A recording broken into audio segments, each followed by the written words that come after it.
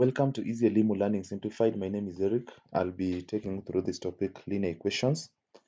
And for this lesson, we're going to cover something on fractional linear equations in one unknown. So we'll do those equations in uh, one unknown, but the ones that have got some of their terms uh, written in a, a fractional manner. So we have some few uh, few questions to help us with illustrations of that, how you can uh, solve linear equations in one unknown, and especially those linear equations that are written in a fractional form. And uh, of course, at the end of the lesson, we'll be having some questions in the form of assignment just to help you practice as you interact with the content. So what we say is that now when you talk about fractional linear equations, we mean that now we'll be having linear equations, uh, but with some of their terms uh, written in a fractional manner, you know, from our definition of a fraction or from our previous discu discussions on, fra on fractions, you know, a fraction is a number that is written in the form a over b, you know, the form a over b. So you see like this one here, see, that is one of the terms in the equation, but it's written as a fraction. So how do you solve such uh, equations? How do you solve for the unknowns in such equations?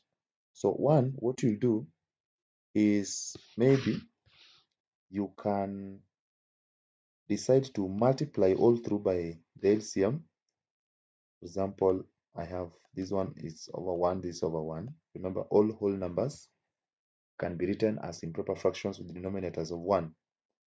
So I'll multiply all through by the LCM of 4, 1, and 1, which is basically 4.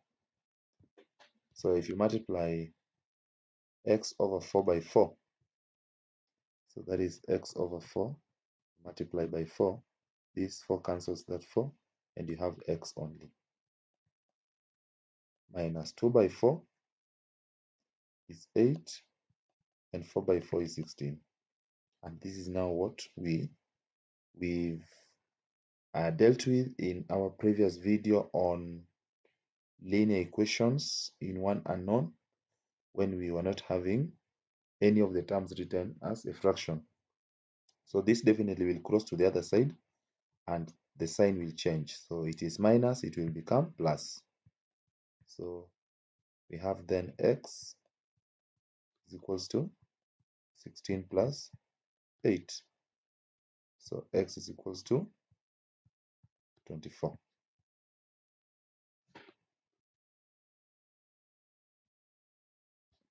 So you have another one here. Uh, still applies. You can decide to multiply all through by 4 or this you can simply cross multiply. You know, we talked about this when we were dealing with ratios. Again, you can check out on our videos on that. So cross multiplying this when you have this one term each on both sides of the equation then in math you can just multiply this diagonal and this is equal to the other diagonal of course you have to start with this diagonal here we it's normally more convenient that you start with the diagonal containing the variable so that is 4 into. So that's 4 into p. P plus 5 so this is equals to 4 by by 5 so if you open up this bracket again you multiply the number outside the bracket by both terms inside the bracket. So 4 by p is 4p 4 by 5 is 20 and the other side we have 20 as well. So what do we get now? 4p equals to 20 minus 20 this 20 taken to the other side becomes minus. So 4p is equals to 0 so we divide both sides by 4 then this other side you divide it by 4 and what do you get? P is equals to 0 and you are done with it.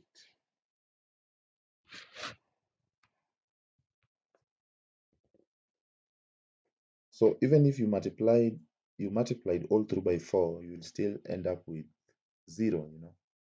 Will still be you know. Maybe if I did case 2 here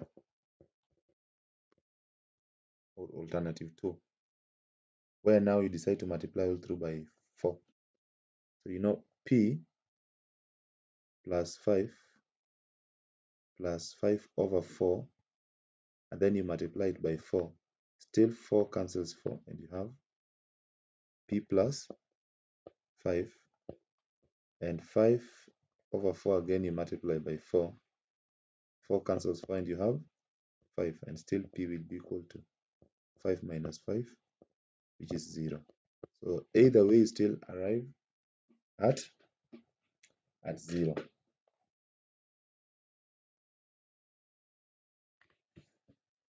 now again here you can multiply all through by the LCM and our LCM in this case is uh, 24 the LCM of 2 3 and 8 is 24 you know. You can you can still try and calculate the LCM so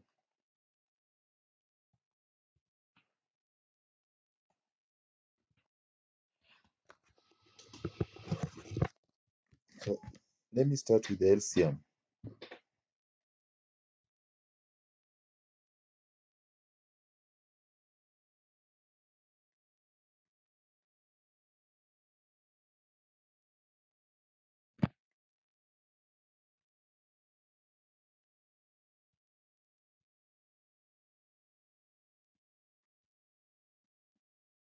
so LCM of 2 3 and 8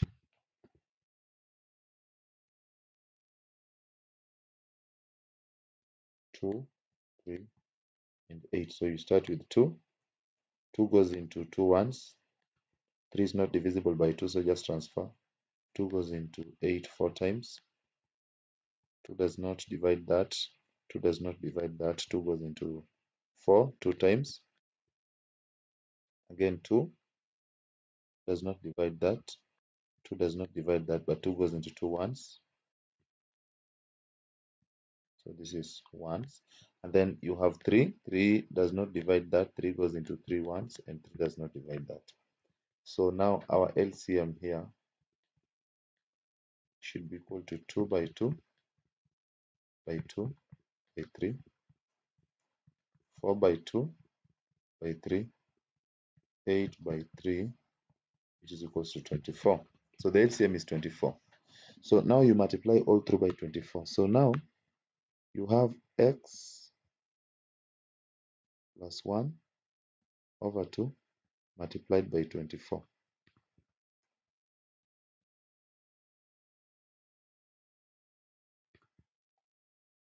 minus x minus 2 over 3 multiplied by 24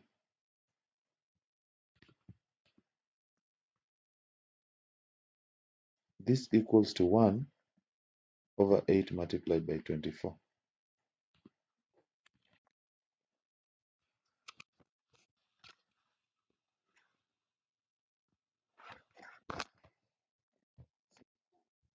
so we have again 2 goes here 1 2 goes there 12 so that 12 multiplies so the 12 multiplies x plus 1 minus the same thing applies on the other side. So you have 3 here 1 3 there 8 times.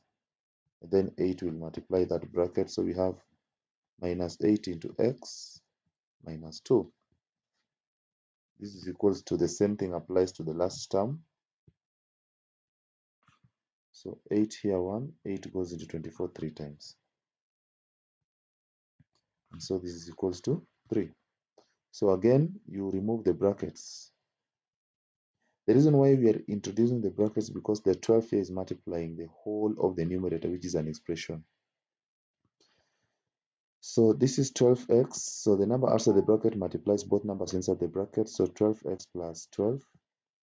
Again, when there is a minus sign before the bracket, the sign inside the bracket changes. So 8x plus 16 is equals to 3. Collecting the like terms together. So we have 12x minus 8x plus 12 plus 16 should be equal to 3. So this is 4x plus 28 is equals to 3. So 4x is equals to 3 minus 28. So 4x is equals to negative 25. Remember now, 28 is bigger, is greater compared to, to 3. So you subtract in the reverse direction 3, 28 minus 3 to give us 25, but now minus.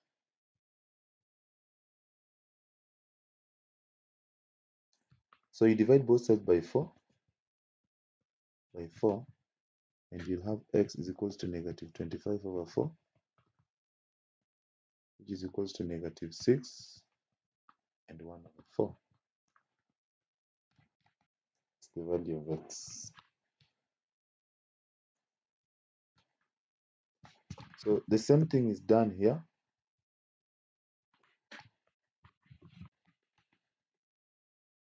So again, we'll have to find the the LCM, which in this case is 20.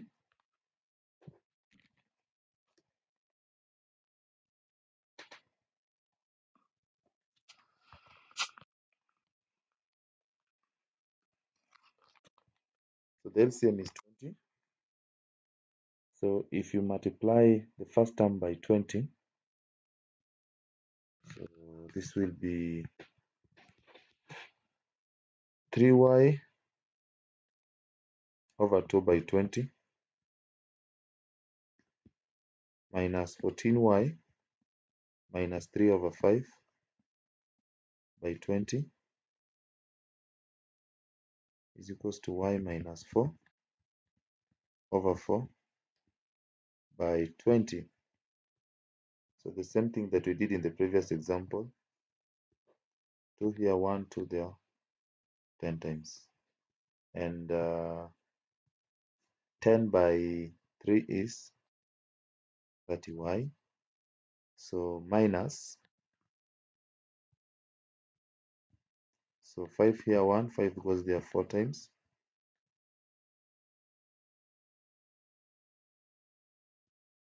Four times. And 4 multiplies the whole bracket. So it's supposed to be 4 into 14y minus 3 this is equals to again 4 here once 4 there 5 times. And 5 times the whole bracket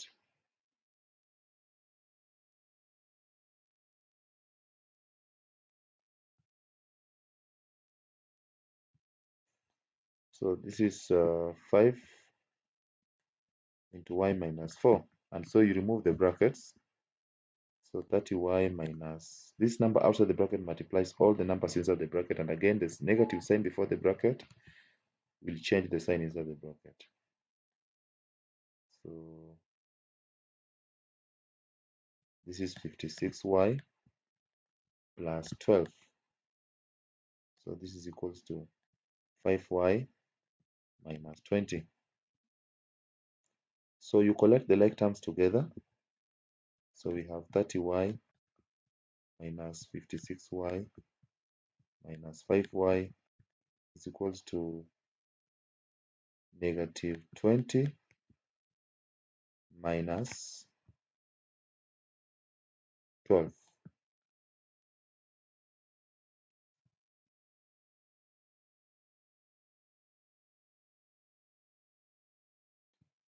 So again, minus 30 minus 56, again, I will just subtract in the reverse first to give me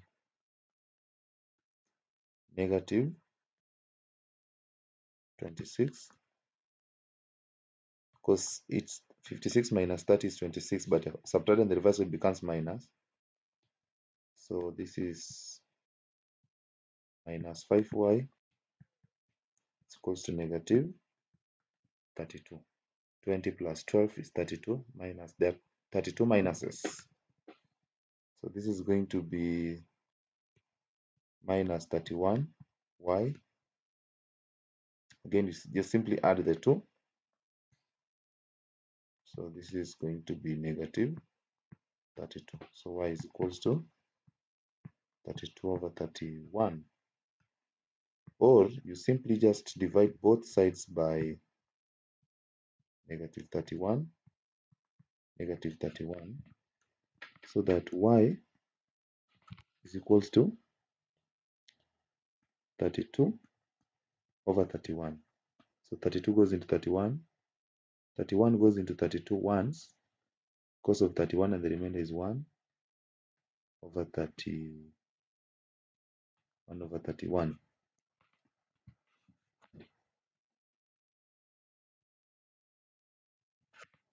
so finally we have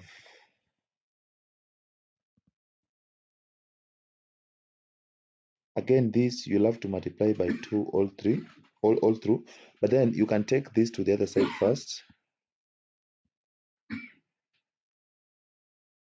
So 1 minus y over 2 should be equal to 2 into y minus 3 over 2 so this is over 1 but you can try and simplify it. This 2 cancels the other 2 straight away. So that you have 1 over 1 minus y over 2 should be equal to y minus 3. So you multiply all through by 2.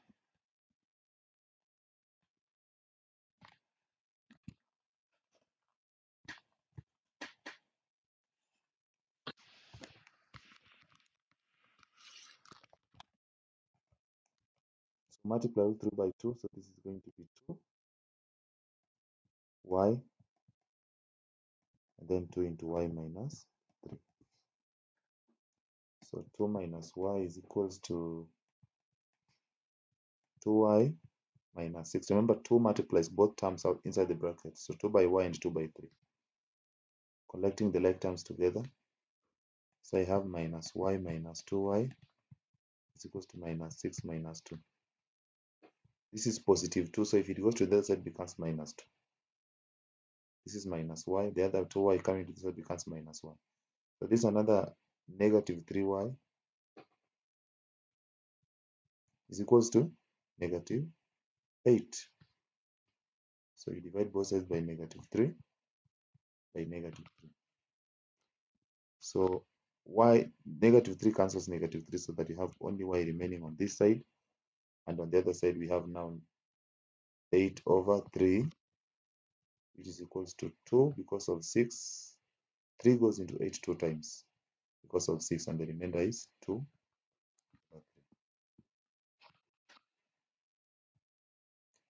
so that is all. You have a few questions here to help you practice on what you've been learning. So you can attempt and then you can always post the feedback Otherwise, that is all for now. Until next time, goodbye.